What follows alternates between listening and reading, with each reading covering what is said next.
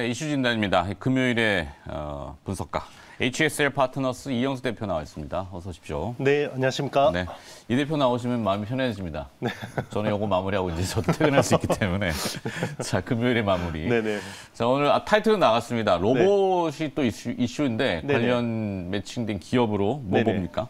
네, 뭐 비단 로봇 때문에 뜨긴 했는데 음. 일단 smart factory, 뭐 반도체 이런 쪽으로 다 엮여 있는 회사고요. 네. 어, 그 핵심 그 감속기를 만드는 회사입니다. SPG라는 회사고요. SPG 예전에 네. 전기 모터 이렇게 했었는데. 네 네 맞습니다. 음. 이 감속기라는 게 모터에다가 네. 기어를 이렇게 이제 같이 부착해서 어. 이제 이런 그 우리 로봇의 관절 역할을 하는 그런 이제 모터라고 생각하시면 됩니다. 네. 정밀 모터. 네네. 어, 굉장히 오래 오래 전에 10년은 넘은 것 같아요. 제가 네네. 탐방도 막 가고 뭐 그랬었던 기억이 나는데 네네.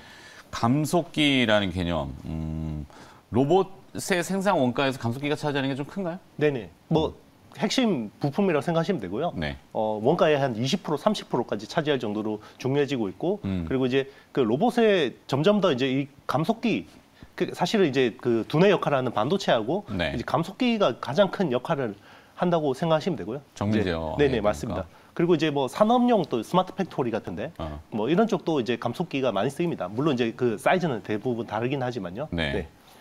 그 SR 감속기, 네네. SH 감속기 네네. 전문 용어가 등장했네. 네, 뭐 이거는 그냥 이제 그 그냥 brand name처럼 생각하시면 되고요. 어. SR은 그냥 이제 대형입니다. 대형하고 중형 쪽이고요. 음. 네. 그러다 보니까 이제 공장, smart factory, 특히나 이제 반도체 fab에 많이 쓰이고요. 음. 최근에 이제 이 회사가 이제 그 미국 최대 공작기계 업체에다가 그 SR 감속기 이제 qual을 받았는데 네. 이제 이런 쪽으로도 많이 들어가는 거고요.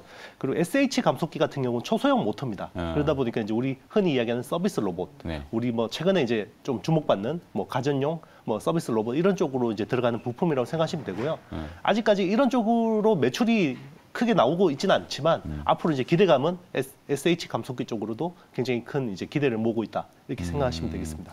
이 회사 특징이 예전에는 다품종 소량 생산 뭐. 약간 그런 형태였던 것 같은데 맞습니다. 네. 네. 주력 제품인 모터 제품, 네네. 네, smart factory에 어떻게 적용이 될까요, 이게? 네. 뭐 일단 이제 산업용으로 이제 크게 쓰는 게 이제 geared 모터라고 하고요. 네. 이게 이제 smart factory에 이제 표준화돼서 많이 들어가는 건데 음. 요게 이제 돈이 됩니다. 음. 부가가치가 좀 높은 편이고요. 음. 그리고 이제 가전용 팬 모터가 있는데요. 펜? 예, 팬. 팬 모터가 있는데 이런 이런 쪽은 사실 부가가치가 좀 낮은데요. 네. 이제 최근에 이제 좀 이런 이런 쪽으로 이제 가격을 좀 올려 받으려고 하는 뭐 이제 고객사가 올려줄지는 모르겠습니다만은 어. 어쨌든 이제 이쪽 사이즈를 더 키우지는 않을 것 같고요. 네. 네, 이런 쪽으로 이제 계속 이제 가격을 좀 인상해서 좀 부가가치를 높이려는 노력들을 하고 있고 이제 기존에 이제 단순 이제 모터 하드웨어만 팔아서는 이게 수익이 안 나다 보니까 뭐 제어기 같은 이제 알고리즘까지 좀 붙여가지고 팔면 좀 나아지는데 그런 쪽으로 이제 클린룸에 적용되는 이제 펜 모터 이제 모듈이죠 제어기까지 포함된 이런 것 쪽으로 해서 좀 이제 부가가치를 높이는 노력들을 하고 있습니다. 네. 삼성전자가 최근에 이제 그 이슈 로봇이라는 이슈의 화두를 크게 시장에다 던졌어요. 네네. 반향이 굉장히 강한 편인데 어, 미래의 먹거리로 이 로봇 산업을 언급했잖아요. 네네. 삼성전자가 관련주들이 많이 급등했는데 SPG도 연관성이 당연히 있다고 생각하시니까 지금 네네 맞습니다. 음, 어떻게 연관을 지어볼까요? 어, 일단 이제 여기 관련된 업체들은 이제 가장 좀 수혜를 보는 게 시장 쪽에서 인정하는 거는 인탑스라는 회사. 인탑스. 예, 인탑스가 이제 대부분 지금 대장주처럼 돼 있고요. 로봇 관련, 네, 삼성 삼성 로봇 로봇 관련 예, 삼성. 로봇 쪽은 이제 인탑스가 거의 대장주처럼 돼 있는데 음. 그 여기 관련된 업체가 SPG라는 회사가 저는 좀 직결적으로 관련돼 있다고 보고 있고 음. 그리고 이제 이랜텍 또 ESS 이제 소형 배터리 모듈 이제 이런 쪽으로 이제 할 수 있기 때문에 음. 뭐 이제 그 battery management system 이런 쪽으로도 할 수 있기 때문에 관련된 업체로 주목해서 보고 있습니다.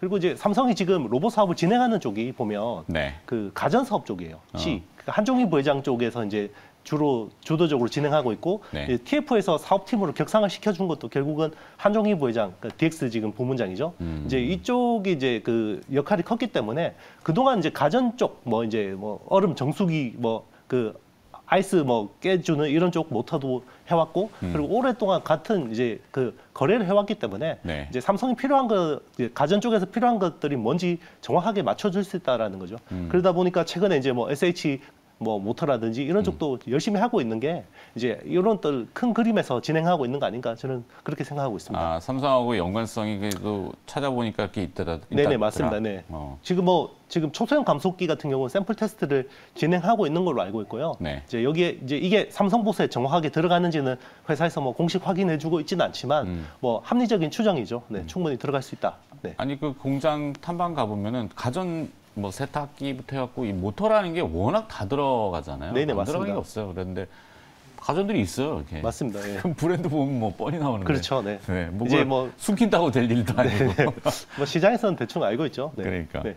어, 근데 그때도 좀 기억에 남던, 아, 지금 제가 자료를 찾으려고 자꾸 시선이 이쪽으로 가 있는데, 어, BLDC 모터 형태인가요? 음. 네네. 작은 힘을 좀 이렇게 증폭시키는 형태의 네네 모터들. 맞습니다. 네네. 그게 이제 보통 우리 어 뭐랄까 wearable한 로봇이라고 네네. 한다면은 보, 보행할 때 네네. 이제. 네. 노령층과 어, 장애를 가지고 계신 분들이 네네. 이 하체 쪽에다가 이렇게 기어 달리는. 거 있잖아요. 그렇죠. 그게 좀 더 발달하면 이제 군용으로 네네, 맞습니다. 힘을 막 내는 거. 그렇죠. 작은 힘에도 이렇게 부가시키는 형태의 geared 그게 네. 이제 모터 형태. 네, 뭐 정확하게 말씀하셨는데요. 이제 어, 특정 부분은 적은 전력으로도 강한 힘을 내는 게 또 하나의 포인트고 네. 또 하나의 포인트는 어, 우리 사람의 어떤 관절은 굉장히 미세하게 조정이 되잖아요. 네. 이 그런데 그 모터라는 거는 힘이 셉니다. 어. 센 것들을 이 기어를 통해서 좀 이렇게 감속이라는 게 아. 결국 이 너무 세면 이렇게 컨트롤이 안 되잖아요. 600만 불의 사나이 되는 거. 네, 그렇죠. 네.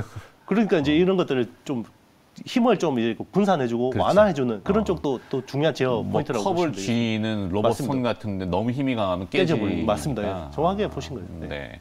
하여튼 그런 geared 그러니까 감속과 가, 가 가속, 예. 가속 네, 같이. 맞습니다. 예. 둘다 가능해야 되는 네. 거죠. 그래서 SPG는 올해 실적 전망은 어느 정도로 지금 산출되나요? 네. 네, 뭐 일단 지난해 실적을 보면요, 4,163억 매출에 음. 매출. 예, 영업이익 235억 달성했습니다. 현재 시가총액 네, 3천억. 음. 3천억 정도인데요.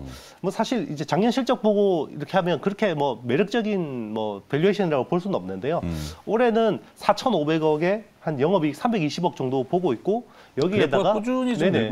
꾸준히 우상향하고 있고요. 그리고 이제 이익률 자체가 계속 올라가고 있습니다. 음. 올라가고 있는 거고 여기에다 이제 삼성봇이라는 또 모멘텀이 붙었잖아요. 네. 네. 그러다 보니까 이제 이런 데에 대한 기대감, multiple re-rating에 대한 기대감 이런 음. 것들로 이제 투자 포인트를 잡으시면 될 것 같습니다. 알겠습니다. 자, 이익률이 좀 낮은 게 약점이긴 해요. 인력이 좀 많이 쓰이고 뭐 맞아요. 개발비 것 많이. 들어가고. 네. 네. 자, 오늘 SPG를 로봇 산업의 또 포인트로 잡아 주셨네요. HSL 파트너스의 이형수 대표가 수고해 주셨습니다. 고맙습니다. 네, 감사합니다.